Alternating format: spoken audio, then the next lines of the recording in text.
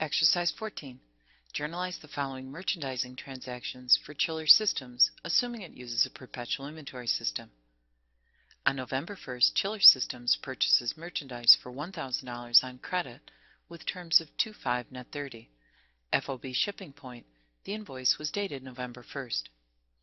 The journal entry to record the purchase on account debits merchandise inventory and credits accounts payable. On November 5th, Chiller System pays cash for the November 1st purchase. They're paying within the discount period, which means they'll receive the 2% discount.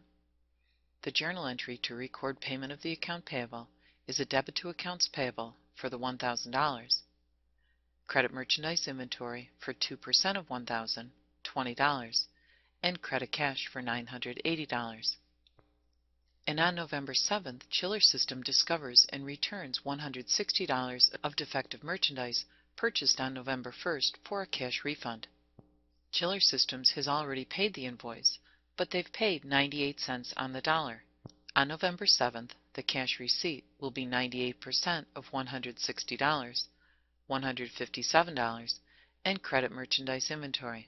On November 10th, Chiller System pays $50 in cash for transportation costs with the November 1st purchase. The terms were FOB shipping point, title transferred to Chiller Systems on November 1st, so Chiller Systems is responsible for paying the freight.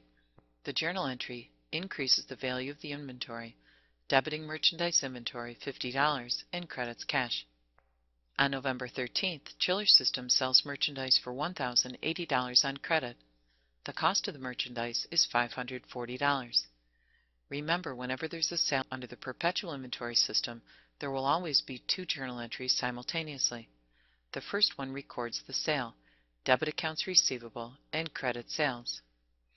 And simultaneously will relieve the inventory database of its cost, debiting cost of goods sold, $540, and crediting merchandise inventory. On November 16th, the customer returns merchandise from the November 13th transaction. The returned items sell for $260 and cost $90. There are two journal entries to process this sales return. The first one is a debit to the contra revenue account, sales returns and allowances, for $260, and a credit to accounts receivable.